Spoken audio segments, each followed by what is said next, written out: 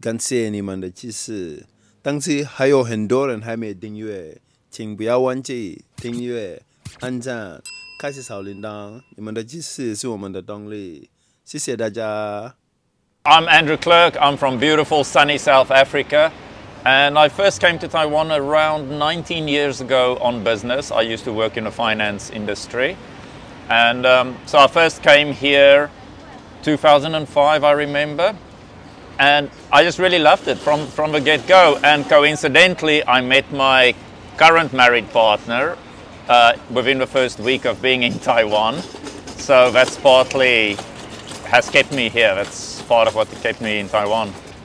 I just really enjoy it. First of all, it's just such a cool island, you know, in the middle of Asia, so it's very centrally located. And I just like life in Taiwan. It's really easy, it's very convenient, it's extremely safe. For myself, coming from South Africa, one of the more dangerous countries in the world, just being able to sit here in a park on a sunny day, it's a luxury. It's something we're not used to back home. So, yeah, good one, Taiwan. But before coming here, do you know this about Taiwan? Well, my first memories of Taiwan is when I grew up as a kid. Uh, most of my toys always said at the back, made in Taiwan. Made in Taiwan. And then I remember our neighbor in South Africa, they were in, uh, he was in computers, and this was back in the 1970s. And um, he was getting all these computer parts and things from, from Taipei. And it was always so amazing to hear him talking about this, this city and country abroad in Asia called Taipei in Taiwan. And it just always, it stuck with me since I was a kid. And I wanted to explore it. And thankfully the opportunity came much later in my life and no regrets. What do you do in Taiwan? Right now, I run an organization called Taiwan Impact Entrepreneurs, TIE for short, and it's the largest, most active community for business owners, startups, and professional people living in Taiwan. It's not just focused on foreigners, but also local Taiwanese. And the aim is, our motto is building great businesses together. Because I previously I worked in a position where um, I worked as an executive dealing with bankruptcies and fraud investigations. And that sort of opened my eyes up on how many businesses fail in Taiwan every year. And it was actually quite shocking. So four years ago, I decided, you know, I just want to do something about it. I come from a very well experienced business background, also grew up in a business family. So four years ago, I started TIE. And the main aim is to help people build more successful businesses in the hope that we can prevent businesses from uh, failing or going bankrupt just you know due to very basic reasons. Do you get support from the Taiwan government in doing this? No, we, we registered as a company. Uh, we don't rely on government grants at all. Uh, that's something which is still questionable on how much the government is actually contributing to foreign entrepreneurship. They are trying, but once again, it's a little bit too much of a mirage effect. You know, it looks great from a distance, but once you get closer, it's like, where is it? Um, so, no, we don't get support from the government. We run it as a full, full-on business, as a company. And um, yeah, we just provide services where we can to support entrepreneurs. What are some of the challenges that, to your experience or to your knowledge, some foreign businesses faces here in Taiwan? So a culture that I never experienced before uh, in business is the top-down management system. So in Taiwan, it's the person right at the top makes basically all the decisions and not managers further down the line. Whereas in Western, Western business culture, we allow managers at certain levels to make dif- different decisions. So for me, that was quite a, quite a new one because normally when a person would network to try and make connections in business, you would start from the bottom and work your way up. Whereas in Taiwan, it was totally flipped around, which also has its benefits because you only have to make friends with one person in a company and not a whole lot. So for me, that was quite unique. Um, I've learned how to make it work to my favor. It's definitely some a something that a lot of foreigners coming to do business in Taiwan, they struggle understanding that concept. If you want a deci- decision to be made by a company, if you company, then you have to find that top person at the top, and it's not always that easy to get to them. So then let's go to more practical aspects of setting up a business in Taiwan. Having access to funding, huge problem because banks do not give loans to foreign business owners unless you've been here for say about 10 years and you run a very large sum of money through your bank accounts already. So access to funding, huge problem. Government grants and subsidies also very rare for foreign entrepreneurs. So definitely if somebody wants to come and set up business, bring a big bag of gold along. then the other thing that a lot of people complain about, foreign, foreign entrepreneurs complain about the language issues. Um, yes, part of that is true. Part of it I will actually debunk a little bit. I've been here for nearly 20 years. I am not good with languages, so I don't really speak any Chinese apart from very basics. But in business, no Chinese. And the way I overcome it is I just employ people who can speak native Chinese. So I really don't have a problem communicating with suppliers or anyone we have to work with. Okay. So there are ways to, to navigate around these issues. During your stay here, what have you found strange, unique, or special? Wow, there are just so many things that are strange, unique, and special here. So, the very first one, as I mentioned, is a top down management effect. They're very generous people. I've always had really good interactions with them, even though I don't speak much uh, Mandarin. But I've never had a problem, especially being visually impaired, being blind, I do rely a lot on other people's assistance, like crossing roads and just purchasing things from stores. I never have a problem. It's people really go out of their way to help me with, you know, doing things. How do people react to you if they know this condition? Yeah, so that's quite an interesting thing. I mean, there are a lot of visually impaired blind people walking on the streets in Taipei, always, you know, you, you, you, can clearly see them. But still, I find it interesting sometimes when I stand at a crossing, at a pedestrian crossing, people would come up to me and just ask questions. You know, they, will ask me, hey, what are you doing with a white stick? I mean, also, you know, I've got some visual difficulties. I mean, they look at me and they're like, but your eyes are blue. You can't be blind, you know. But I don't find these things as, you know, negative or anything. It's more people are just um, curious. They maybe they've never had close encounters with a visually impaired person, never mind a visually impaired foreigner walking on the streets. I also I have a I'm very impatient, so I walk incredibly fast, um, which can be painfully um, annoying for me on, this, on the sidewalks in Taipei because first of all the sidewalks are very crowded and people do walk quite slow here. Um, so people do come up to me and they, they chat to me about it. And I like it. I think it's nice. It shows, you know, they have interest and it's always with kindness. I've never had people saying anything rude or nasty to me at all. Many people spoke about the traffic with the cars and motorcycles trouble on the streets. How do you manage this? I live right in the center of Taipei City at uh, Taipei Main Station. One of the main reasons why I live there is because there are um, government rules and regulations about sidewalks and traffic, for instance. So all sidewalks have to be pedestrian friendly, meaning people, wheelchair users can utilize them. So it's not like when you go outside to, let's say, Danshui or outside in the rural areas where, you know, there are steps on the sidewalks between shops. So it's very disabled, pedestrian friendly Taipei city.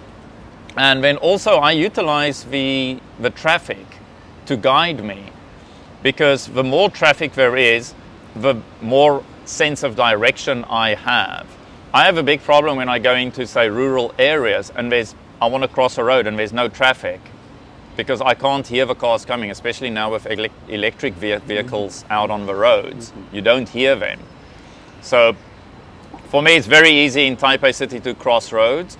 Uh, first of all, a lot of pedestrians, so just follow pedestrians.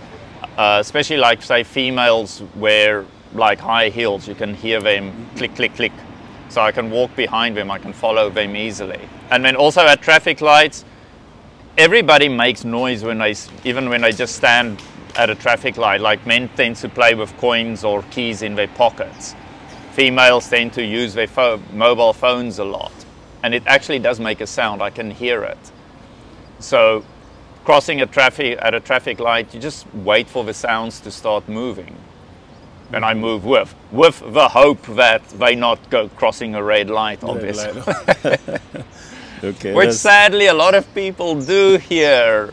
You get these elderly people who do these kamikaze tricks where they just walk across the road.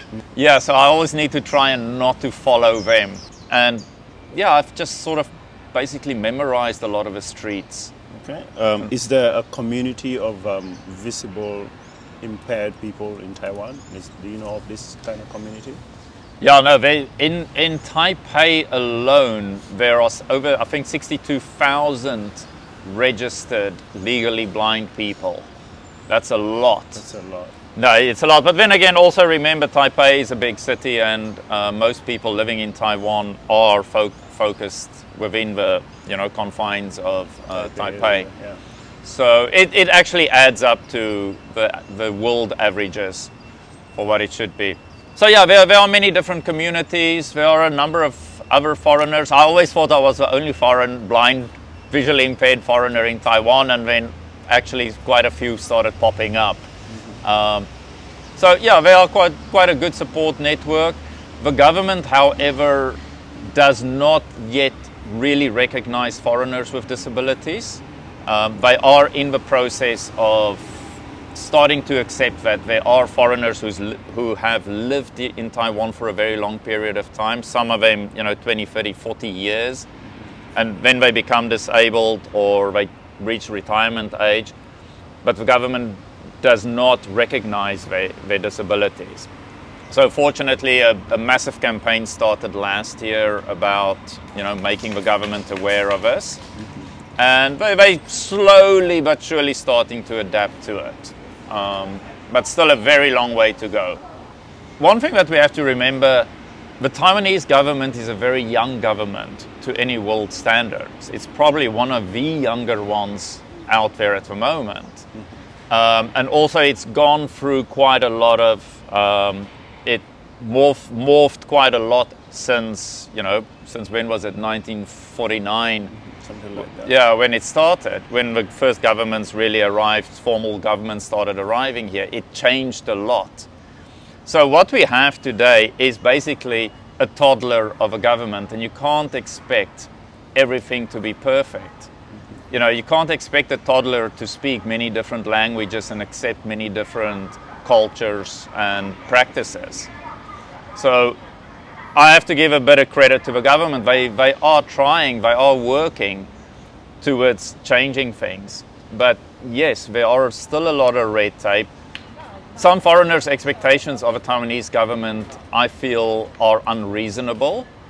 Like foreigners always complain about the banking system and quite a number of other things. And it's, you have to look at it that even in a person's own home country, in my home country of South Africa, a foreigner can't just walk in there and get a bank loan. You can't. You have to live it. You have to contribute. You have to uh, participate in and be part of society before you can have certain privileges. Yeah. Not not everything is your your birthright. Some things are privileges earned. Yeah, that's right.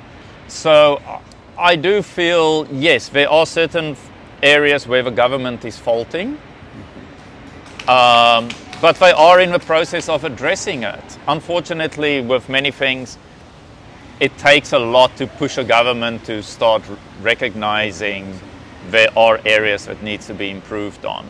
They do have a tendency to try and please the world stage. Taiwan wants to become part of the United Nations.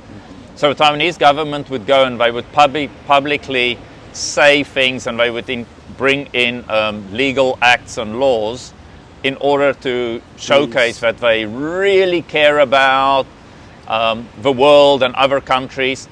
but then back home they don't practice what they preach. Um, a very good example of this is, I think it's 2014, the government brought out a Dis Disability Act where uh, the Rights for Dis Disabled People Act, where they actually stated, they brought out a law saying that all people with disabilities will be treated equally in Taiwan. Mm -hmm. And it's, it's written like that in Chinese. So when you translate it, it means all people. So it, it, does, it doesn't, in theory, it doesn't matter whether you are a, a born Taiwanese or a migrant worker or an illegal immigrant mm -hmm. or foreigners, immigrants like ourselves. That law states that each person with a disability must get equal treatment. Mm -hmm. And the government brought that law out in order to please the United Nations to um, be aligned with the United Nations policies. And since uh, 2014, 10 years ago when they brought it out, they basically just swept it under the carpet. Mm -hmm. Yes, the Taiwanese government is at fault on certain things, mm -hmm. but I think on other things, it's, it's it's a young government. Give them some time to grow up. They, they need to learn a lot of things. Don't be too harsh on them. Right. Um, many of us, we do come from older nations, you know, especially if you're from Europe, even the US, for instance, you know, it's, it's very well established governments and countries and give, give Taiwan some time to grow up, you know, it's, this is also a toddler having to fight off big bullies continuously all the time. You know, they've got their neighbor that's just causing so much trouble. that's right. It, it's their focus is the government officials' focus is not just 100% on how can we please every foreigner who wants to come and come and settle in Taiwan. What advice would you give to someone who wishes to come to Taiwan? I'm going to pull a philosophical one on this. It's be grateful for what you have and the opportunity that, that you're given you know, it's such a great experience to come and live in Taiwan and experience the culture and the food and everything that this country, country this island country has to offer. Mm -hmm. Just appreciate it. Stop trying to complain about little things. Stop comparing Taiwan to your home country. There are just too many foreigners who come here and they're like, oh, it's so much better, better in my own home country. Then go back to your own home country. Own country. Mm -hmm. So I would say just, just appreciate what you have. It doesn't matter how small and how little it is. Just be thankful and grateful and just come and enjoy the place and leave your problems behind. If you had to share any South African culture with Taiwanese, what part of South African culture would you like to? In South Africa, everyone talks to everyone. If you're standing at a, waiting at a traffic light, you just turn and start talking to the person next to you. You've never seen or met the person, you probably will never again, but you just, you greet each other, you say hello, how's going, you know, nice day, where are you from? People chat to each other non-stop. Like in supermarkets, for instance, if you stand in line at the checkout, you just start talking to people. It's natural, it's normal. And I've made some incredible friends and connections that way. So that's something that I do miss in Taiwan is just that personal communication that don't be shy, just turn around, just greet, smile, say hello. Um, stop being so glued on your phone. There is a world outside of that phone, you know, um, which is unfortunately something we see a lot in Taiwan. People just walk on the streets with their phones or they sit in restaurants with family members, loved ones, friends, and they're all on their phones. Mm -hmm. Leave it, drop it, it's not that important. if you had to change anything in Taiwan, what would it be? I think the pollution is still quite an issue. It is a, the air pollution. It used to be a lot worse uh, before the MRT system came into place. So it is getting better, but I think it's still a big problem. They need to start changing over more to electric vehicles. I it blows my mind that there are still, what's it, I think 10 million uh, petrol scooters on the roads in Taiwan. It's crazy. The, the, government should really just bring a law in and just make everything electric vehicles. That would make a huge difference to the uh, pollution in, in in Taiwan. And the noise pollution is also quite a big one in Taiwan, but perhaps, you know, using electric vehicles would partly solve that issue as well. Do you have anything else to tell Taiwanese people? Yeah, well, first of all, well done on, crea- on creating such a wonderful country and keep it up. You know, it's Taiwan is a wonderful place. It's really nice to be here. I'm very grateful and I really appreciate everything that they offer. I mean, ultimately, this is a country that was created by the people. Mm-hmm. I would say deep down, it's really the culture that makes it. You know, look how safe it is. People don't steal, they, you know, honor and respect other people. So, absolutely, thank you so much, everyone, uh, for creating this wonderful island country. I love all the noises going on, going around me. It's, it's such a vibrant place. All right. Um, thank you very much and hope you continue to flourish here in Taiwan. Yeah, thank you so much and all the best, you know, with, with your mission here as well. It's amazing what you guys are doing and I really appreciate it. 感谢你们的支持。 当时还有很多人还没订阅，请不要忘记订阅、按赞、开启小铃铛。你们的支持是我们的动力，谢谢大家。